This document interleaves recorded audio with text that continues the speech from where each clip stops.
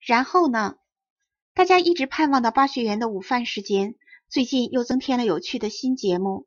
在这以前，巴学园的午饭时间是这样的：先由校长先生检查全校五十名学生的盒饭，看是否都带齐了山的味道和海的味道。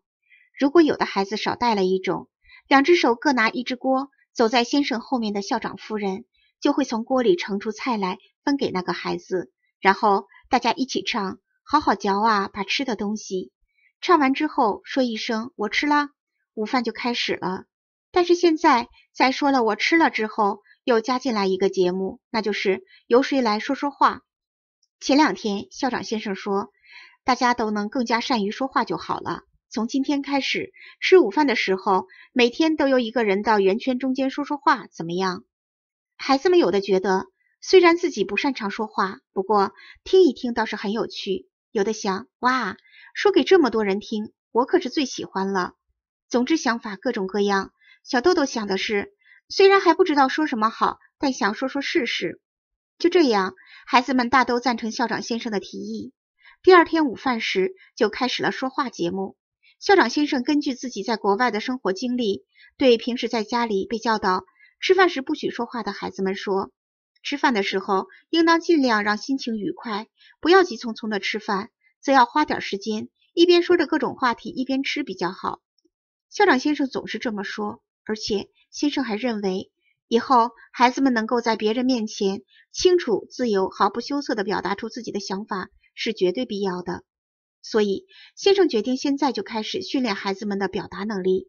当大家都说赞成的时候，先生说了下面的话：“小豆豆用心听着，好吧，不必想着非要说的很好不可。”只是说自己想说的话，什么都可以。总之试一试吧。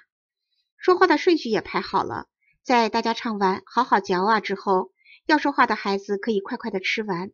但是这回的说话和课间休息时大伙三五个一块聊天的时候不一样，这是站在全校五十名学生的正中间说话，无疑既需要勇气，又很有难度。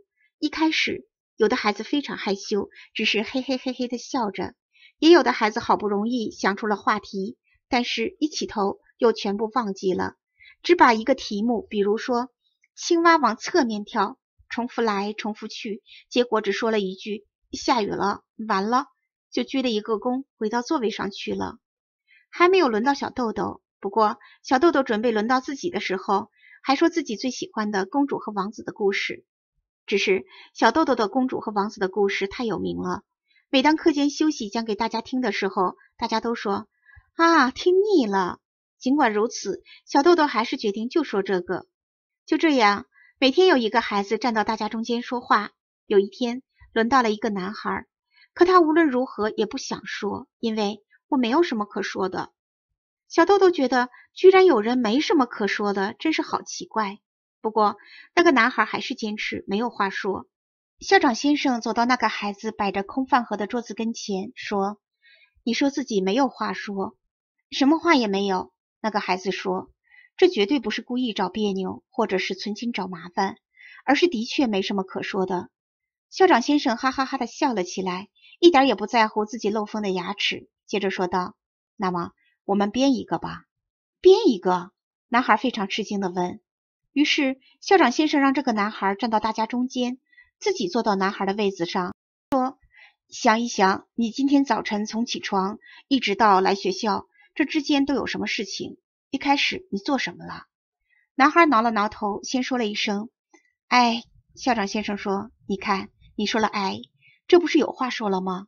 哎之后呢？再说什么呢？”男孩又挠了挠头，接着说道：“哎，早晨我起床了。”小豆豆和小学生们虽然觉得有点可笑。但都注意听着。接着，男孩又说：“然后呢？”一边说着，他一边又挠一挠头。校长先生两只手叠在一起，放在桌子上，一直微笑着看着那个孩子。这时，先生说：“很好，就这样。大家都知道你在早晨起床了，并不是说了有趣的事或者令人发笑的事才了不起，而是像你这样，本来觉得没话说的，找到了可说的话，这才是最重要的。”于是，那个孩子用非常响亮的声音说：“然后呢？”大家一起往前探了探身。男孩深吸了一口气，说道：“然后呢，妈妈对我说：“快刷牙！”我就刷牙了。校长先生拍起手来，大家也拍起手来。于是男孩的声音比刚才更大了。然后呢，我就到学校来了。把身体往前探着的高年级学生中，有的孩子好像探得太过火了吧，把头都碰到了饭盒上。但是大家都非常快活。那个孩子有话可说了。先生热烈地拍起手来，小豆豆他们也使劲鼓掌。站在正中间的那位，然后呢的男孩子也一起鼓起掌来。礼堂里一片鼓掌的声音。这次鼓掌的情形，即便是那个男孩长大成人以后，也一定不会忘记吧。